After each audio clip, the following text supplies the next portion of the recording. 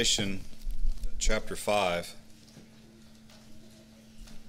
John sees uh, this scene unfolding in heaven. It was being it was being shown to him things which must shortly uh, come to pass. And in the Revelation, in uh, chapter 5 of the Revelation, there be, begins this opening of of the purpose of God. And throughout the book, there's there's three different sections of God's purpose being opened. There's the, the seven seals that are open, and there's the seven uh, the seven trumpets um, that are open, and then there's there's one more seven that I'm failing to the Seven bowls. seven bowls that are open, yeah, or that are poured out. And each each one of these are there's a seven because it's complete. Whatever everything God does is complete. It's it's it's perfect. Um, and so in chapter five is the beginning of the purpose of God being being opened. It's the seven seals. It's the book. John saw in the right hand of him that sat on the throne a book written within and on the back side, but it was sealed. It was written in, but it was sealed, meaning that it was a it was concealed. It was closed up. That's what that's what this means. That it was sealed. Nobody could penetrate. Nobody could um, could open open this up. Nobody could find it out. And this bothered John. It bothered him so bad. He said he, he wept that no man was was found that could could open the book until one of the angels said, "Weep not. There has been a man found."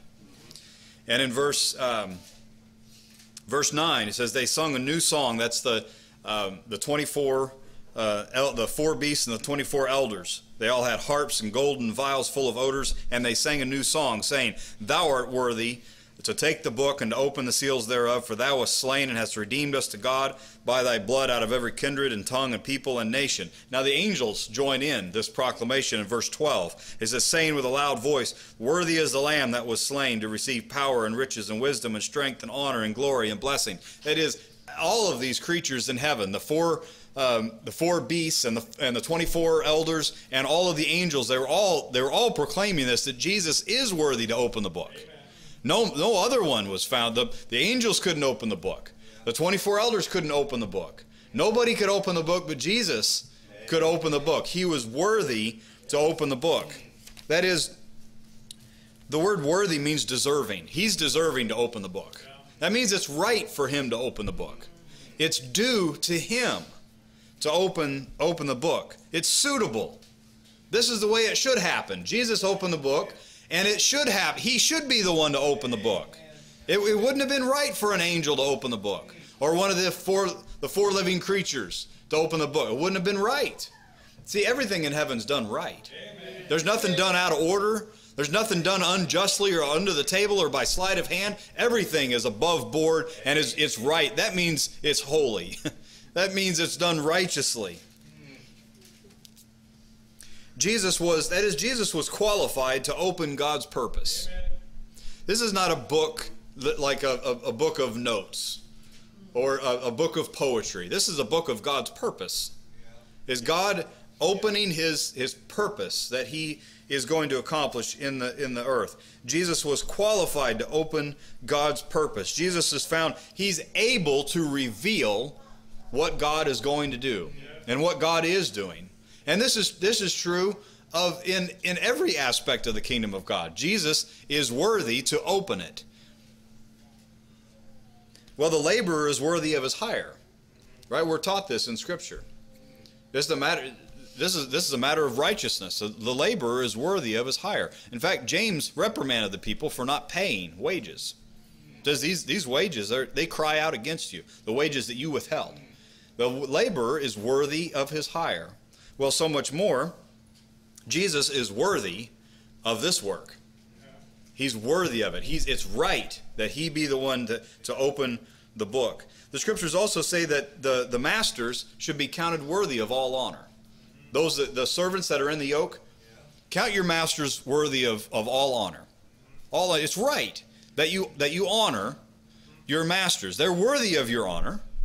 You're you're in service to them, and so they're worthy of your honor. Well, Jesus is the master of all masters. So how much how much more worthy is he of all honor and glory and power and blessing and all this that, that we read in, in Revelation chapter 5. Think about it this way if John the Baptist said he was not worthy to stoop down and unlatch the sandals that Jesus wore, and this is John the Baptist saying he wasn't.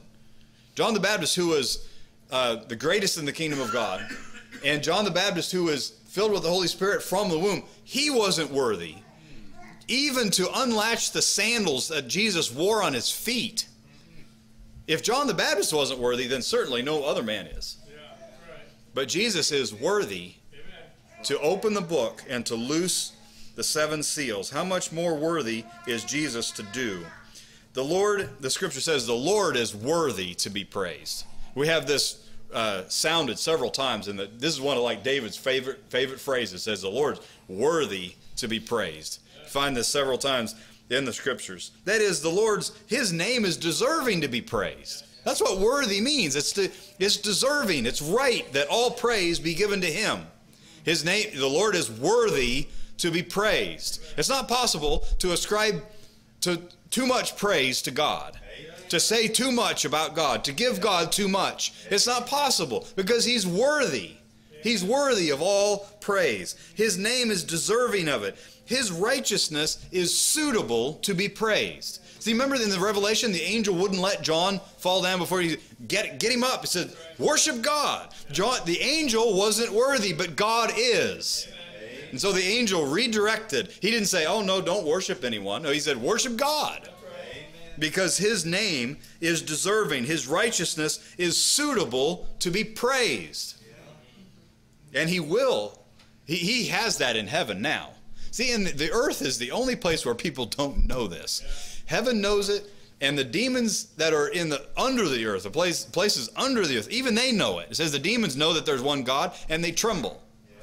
In the earth is the only place that this isn't known. So that, that's why we got to make it known. That's why we talk about talk about this thing. See, the Lord is worthy to be praised. Grace, grace is due the praise of man. It's right that everything that man has be be given as praise to God because grace is worthy. The grace of God is worthy of everything that man. What do we have that we haven't received? Everything that we have, we've received from Him, and so He's He's worthy of us giving.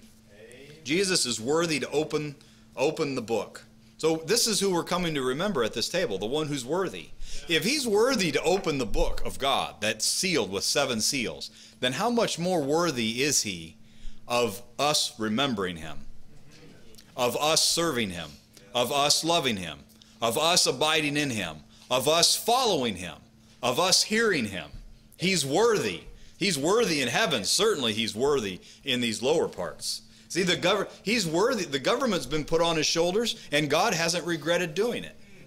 See, he's worthy. He put the government on his shoulders, and the kingdom is advancing on his shoulders. That means it's right that it be on his shoulders. The kingdom hasn't suffered any. It hasn't hasn't retrogressed, hasn't digressed because the kingdom is on his shoulders. It's right that it be on his shoulders. He's worthy. He's fulfilled the law and the prophets.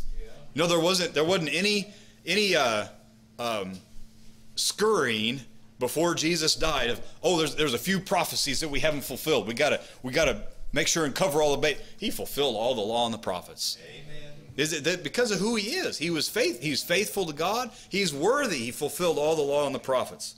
He he's the scripture says he always did those things that pleased God. He always did. It wasn't something he had to tie tie a string on his finger to remember. he didn't have to put sticky notes, you know, around the house the Jews had to they had to put signposts, you know, on the inside of the door and outside of the door, and where they laid down and where they went in the field. Put the signposts all around them. Why? Because it wasn't in them. Well, Jesus showed up. He fulfilled the law and the prophets because it was in him. It was in him. He's worthy to open open the book. Now, not only is Jesus revealing the book, he's not just providing the information. Jesus is doing the work. He's opening the book and he's doing the purpose that's written in the book. And in fact, as far as the scriptures go, they're all written of him. So Jesus is not just reporting like third party, show up on the scene and tell us what's going on. Jesus is making the goings on go on. He's worthy to open the book. He is He's the captain of our salvation. That means He's out in front. He's the one that has the plan. He's the one that has the vision. He's the one that has the power to move the forces and to put down the forces and to bring in the forces. He's the captain of our salvation, and He's worthy to open this book. He's the great high priest that is over the house of God. That's why he's opening the seal, opening the book, and, and loosing the seven seals, because he's been put over the whole house of God. Yeah. And when Jesus wraps up this whole purpose, then he's going to hand it back over to God, that God might be all in all. And when he hands it all back over to God, we want to be in that that he's handing over. He says, Behold, I and the children which God hath given me. He's going to hand over this great house back to God that God set him over. He's going to finish the work.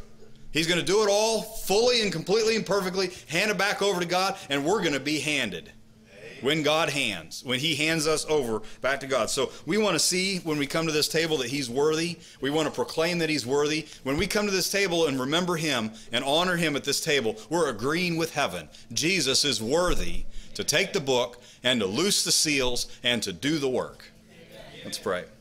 Our Father in heaven, we thank you for making your purpose known to us, for making your will known to us. And we pray, Lord, that you would continue to open it up to us. We thank you for this table that you've given us, a table of remembrance and a cup of blessing.